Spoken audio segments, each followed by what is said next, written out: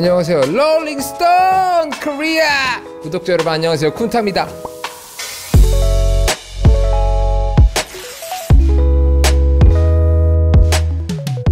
어, 08 베이식? 08 베이식. 아, 저는 이제 그때 이제 베이식 무대였잖아요. 베이식 무대니까 사실 제 거 준비할 때는 그냥 제가 뭐 그때 되게 좀 시간이 없었어요. 그때 발매 했을 때인데 세미파이널이었거든요. 그때 이제 08 베이식이 딱 나오는 순간에 아 저거는 됐다. 이 시기 부활했다. 이러면서 아, 그때 되게 기분 좋았어요. 약간 뭔가 그런 거 있잖아요. 영화에서 슈퍼맨이 슈퍼맨 아니었다가 딱 슈퍼맨 되는 딱 그 순간 있잖아요. 그 기록이 딱 08 베이식이었어서 어우 저는 08 베이식 보고 역시 베이식은 베이식이다. 네. 아 저는 약간 인력 시장 같았어요. 예, 네, 그러니까 저 옛날에 어렸을 때 이제 인력 사무소 저 어머니가 돈을 안 줬어요. 저는 어머니가 돈을 안 줘가지고요. 음, 어머니께서 음악을 할 거면 그리고 너 대학도 안 갈 거면 그러면은 돈을 벌어라 나가서 그리고 음악 할 거면은 네가 돈 벌어서 알아서 해라. 그래서 저는 이제 정말 진짜 돈을 벌었어요. 그래갖고 인력 사무소를 갔는데 약간 그때 그 기억 이랑 똑같은 거예요. 그러니까 아무나 올 수 있는데 아무나 못 들어가는 느낌이어서 그때 약간 조금 약간 좀 슬펐죠. 약간 서글픈 느낌이 다시 오니까 그때 저 처음에 인력사무소 갔을 때 거절당했거든요. 그러니까 아마 가신 분은 아실 거예요. 처음에 주, 민증을 줘요. 민증을 주고 민증 가지고 있다가 안 되면은 그래 저 같은 경우에는 그때 쩔이었기 때문에 이제 십장들은 항상 안에 있어요. 안에 들어가 있고 쩔이들은 이제 밖에서 겨울이었거든요. 드럼통에서 이렇게 쭈글 이게 얘가 쭈글대고 있는데 이제 그냥 다 이렇게 부르더라고요. 근데 저만 안 부르는 거예요. 저하고 몇 명 안 부르고 저 그냥 민증 받아서 집에 갔죠. 약간 그 기분이었어요. 그 사무소 다시 간 느낌? 그래가지고 약간 그때 PTSD 맞죠? 네. 근데 저는 그러면서 약간 그 생각 들었어요. 그러니까 그러고 나서 나중에 쇼미가 다 끝나고 저 이제 안내해 주시는 분이 계셔가지고 그분한테 이제 직책을 물었죠. 저는 감독님일 줄 알았어요. 근데 인턴이시더라고요. 근데 그거 딱 듣는 순간에 아 여기 있는 걸어 다니는 사람 모두 다 서바이벌 다 테스트 중이구나. 다 그거 끝나고 여기 온 거구나. 아 나는 이제서야 직업 테스트를 받는 거였구나. 이게 나한테 직업 테스트였구나. 이제 그거를 그때 깨달았어요. 그러니까 좀 이렇게 그러니 그러면 아, 그것 때문에 그냥 일반적인 그냥 일 하신 그러니까 각자 직업이 있는 사람들 있잖아요. 그런 직업에 대한 좀 존중심이 좀 올라갔어요. 예, 그런 직업에 대해서 함부로 뭔가 얘기하게 안 되는. 네. 네, 그래서 알바를 respect?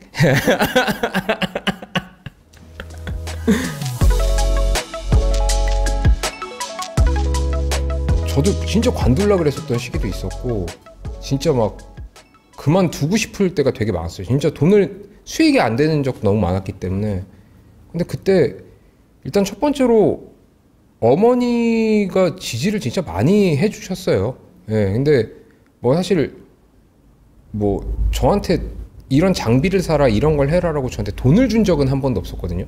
근데 음악을 안 해도 최소한 먹고 그러니까 먹을 수는 있게 해줬으니까 예, 음식을 입에 넣을 수는 있게 해줬으니까 그 정도면은 사실 감사해야죠. 예, 사실 서울에 지금 올라와서 가족도 지금 없이 혼자서 지내면서 일하시는 분들도 많기 때문에 사실 그게 제일 큰 지원인 것 같아요.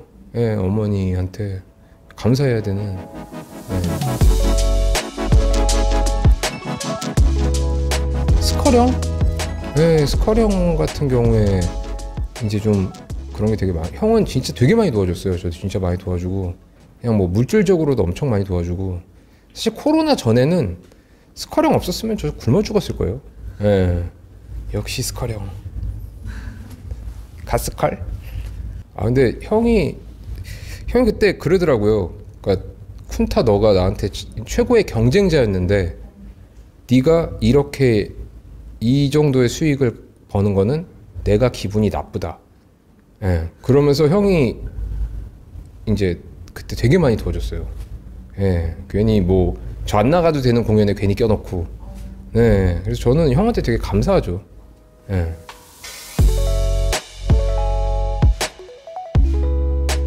저는 뭐 진짜 자메이카에서도 막 엄청 막 일이 많고 그랬는데 사실 저는 그때보다 가장 기억에 남는 거는 사실 큰 무대는 아닌 것 같아요. 큰 무대는 기억에 많이 안 남아요.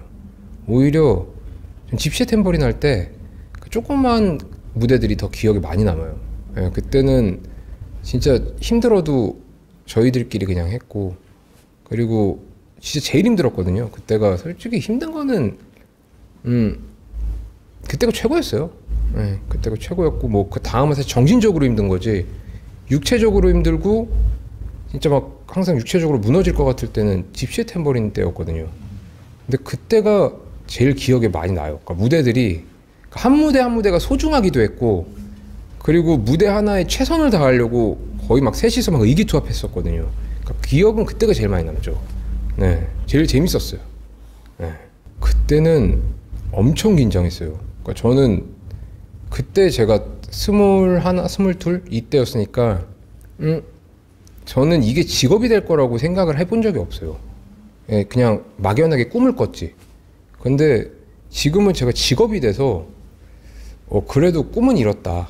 예, 꿈은 이뤘는데, 요걸로 이제, 근데 뭐, 그렇더라고요. 이게 사람들이 좋아해 줘야 되니까, 여러분들 감사합니다. 예, 덕분에 직업 유지 잘하고 있습니다. 감사합니다. 이게 되게 웃긴 게, 옛날에는 그런 거 진짜 생각 안 했어요. 그러니까 팬이라고 누가 얘기하면, 솔직히 고마운 거 몰랐어요.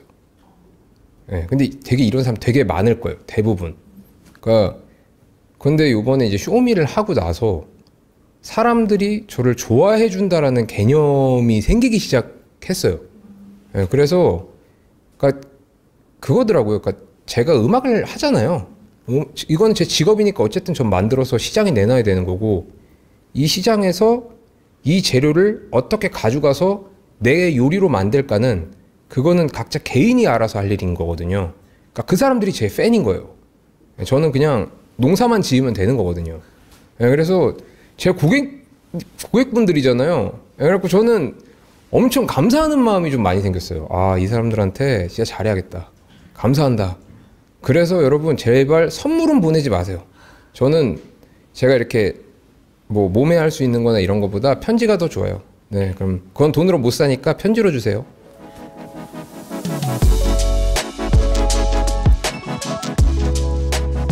저는 사실 음악적으로 이루고 싶은 목표는 지금 사실은 없어요. 네, 사실은 없고 그냥 직업이니까 네, 직업 정신을 발휘해서 직업인으로 잘 살아야겠다. 네, 그냥 그런 생각을 많이 하죠. 네. 그러니까 어차피 저는 그냥 1차 생산자예요. 그러니까 음악은 2차 생산까지 이루어져야 돼요. 네, 그러니까 그게 그 사람한테 들어가서 그 사람이 어떤 식으로든 활용을 하던 그 사람이 자기가 먹어야 되거든요. 네, 그래서 저는 어, 앞으로 그 사람의 테마곡이 될 누군가의 테마곡이 될 수 있는 음악을 계속 만드는 게 맞다고 생각을 해요. 네, 그리고 그 사람이 딱 제 음악을 들었을 때 자기가 가졌던 드라마가 나와야 되기 때문에 네. 그래서 저는 테마송 네.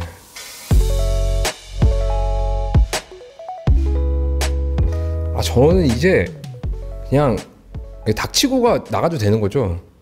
그냥 전 닥치고 앨범이에요. 닥치고 노래 무조건 내고 어 뭐 이제 쇼미를 나오고 나니까 더 저는 좀 겁대가리가 없어졌어요. 그래서 옛날에는 지가 뭐라고 약간 이런 생각 잠깐 저 자신한테 지가 뭐라고 괜히 아 몇 명 뭐 팔로워가 얼마고 막 좋아요 숫자가 얼마고 이딴 생각을 했었거든요. 근데 그거는 제가 할 생각이 아니에요. 일단 이게 직업이면 시장에 자기가 아티스트로서 내놓을 거 다 내놓고 그 다음에 뭐 그런 것들이 부수적으로 따라오는 거지 그거에 대해서 뭐 막 그렇게까지 생각할 부분은 아닌 것 같아서 저는 그냥 계획은 딱 하나요. 직업 정신을 가지고 직업인으로서 열심히 어, 일을 하겠습니다. 네. 사실은 머리까지만 제가 사실은 출근 도장을 찍고 시작하는데 어, 출근을 여기까지 이렇게 프리세팅을 해주시니까 어 좋더라고요. 네. 22년에는 진짜 앨범 많이 낼 거고 어, 작업 많이 할 테니까 여러분들 좀 지켜봐 주시고요. 열심히 하겠습니다, 여러분. 사랑합니다.